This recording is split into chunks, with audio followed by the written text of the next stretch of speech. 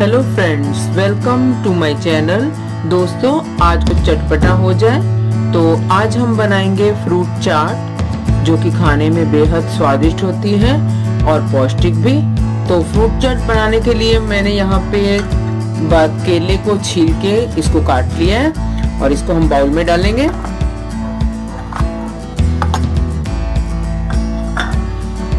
अमरूद, मैंने दो अमरूद दिए पके हुए।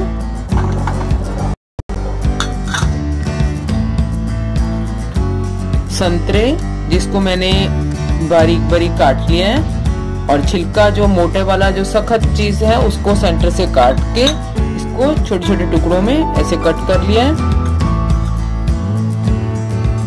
ये मैंने पियर ली है, नाशपाती, और थोड़े से अनार के दाने। और मैंने एक सेब लिया जिसे मैंने और सबको हम मिक्स कर लेंगे अच्छे से पहले। और थोड़ा सा मिक्स करने के बाद इसमें हम डाल लेंगे चाट मसाला, आधा चम्मच चाट मसाला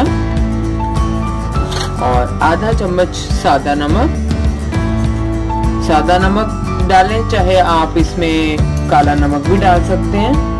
मैंने चाट मसाला डाला, इसलिए मैंने काला नमक नहीं लगाया, क्योंकि काला नमक चाट मसाला में ऑलरेडी होता है, और इसमें आधा चम्मच जो या फिर एक चौथाई काली मिर्च डाल लेंगे, और काली मिर्च का आपने देखना है कि ऑप्शनल है, अगर आप नहीं चाहते तो आप काली मिर्च बेशक ना डालें, और इसमें हम डालेंगे एक या फिर आधा जो है नींबू का रस।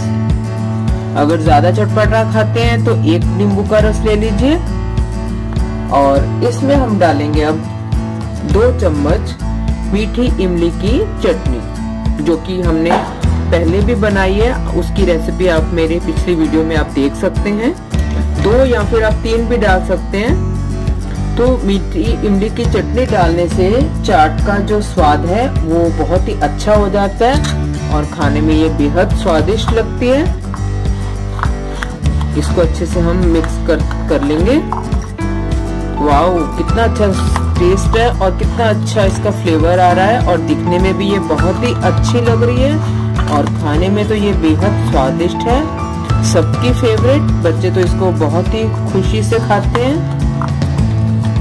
तो ये रही हमारी चटपटी मीठी इमली की चटनी वाली फ्रूट चाट। आप इसे ज़रूर बनाइए। मसाले जो हैं, आप अपने स्वाद के अनुसार कम या ज़्यादा भी डाल सकते हैं। ये रही हमारी फ्रूट चाट तो हम अब इसे प्लेट में डाल के सर्व करेंगे। हम्म यमी बहुत ही मज़ेदार लग रही है। आप इसे ज़रूर बनाइए। इमली की चटनी जो है, चाट जो फ्रूट चाट है, उसका स्वाद दुगना कर देती है। आप चाहे तो इसमें और फ्रूट्स भी डाल सकते हैं। आप ग्रेप्स भी डाल सकते हैं, आप शकरगंदी भी डाल सकते हैं, कुछ भी डाल सकते हैं। यमी बहुत ही सुंदर और स्वादिष्ट लग रही है। आप इसे ज़रूर खाइए और बनाइए।